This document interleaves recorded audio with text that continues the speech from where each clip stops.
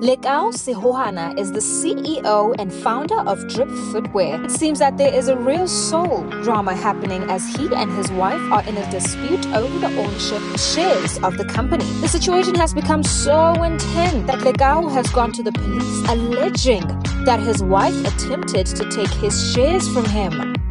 Please take a moment to give us some love by hitting that like, share, and subscribe button on your YouTube channel. And hey, why not grab yourself a copy of our paper while you're at it?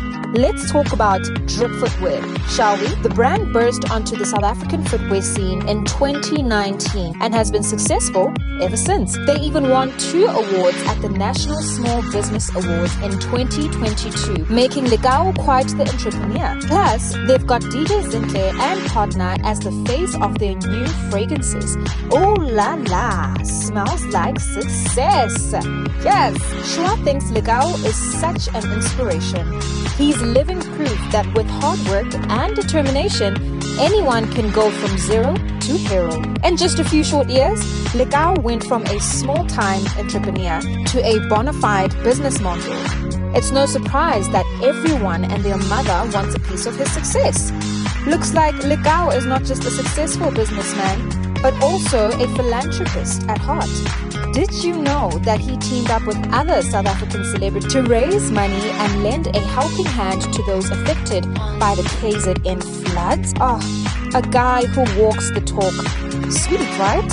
Who knew that behind those trendy kicks there was a heart of gold? But you know, all the glitters is not gold and it appears that Drip Footwear just can't stay out of the courtroom drama.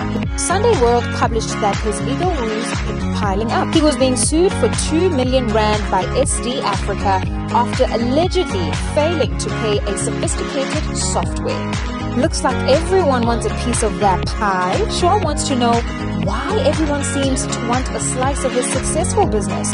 Nice. Oh, and that's what brings us to this week's story. In this week's paper, his wife is demanding 50% of drip. It is so bad that Lekau has opened up a case of extortion against his wife. In this week's Sunday World, it is stated that he started the company alone shortly after they separated. Shua is no legal expert, but we do know that this battle of the exes could get ugly.